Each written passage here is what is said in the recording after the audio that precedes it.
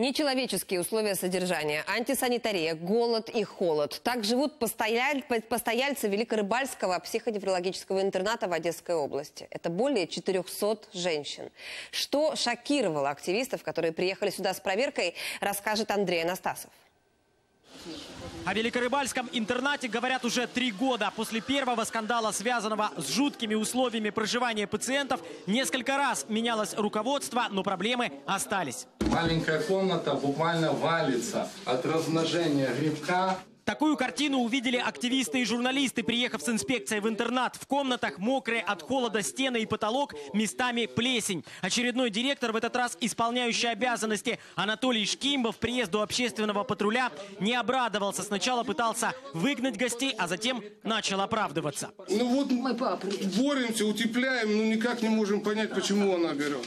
С питьевой водой ситуация не лучше. Пациентки жалуются, что она горькая и соленая. Да, вода соленая. Терпеть не можно.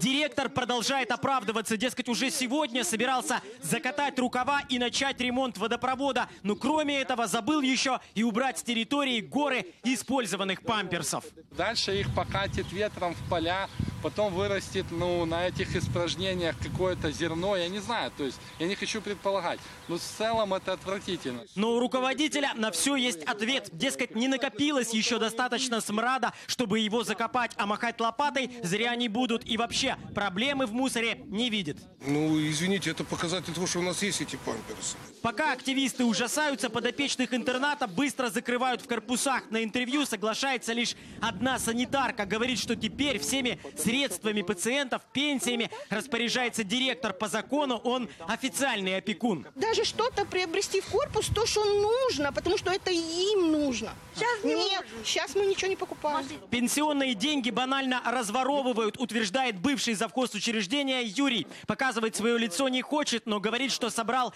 целый ворох доказательств и видео о нелегкой жизни пациенток интерната. Я столкнулся с, там, с тоннами из- и- извести списывания, цемента.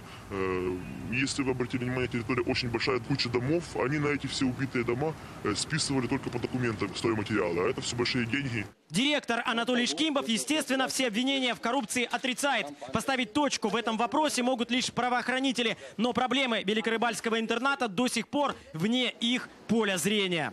Андрей Анастасов, Игорь Миханошин. Подробности телеканал Интер. Одесская область.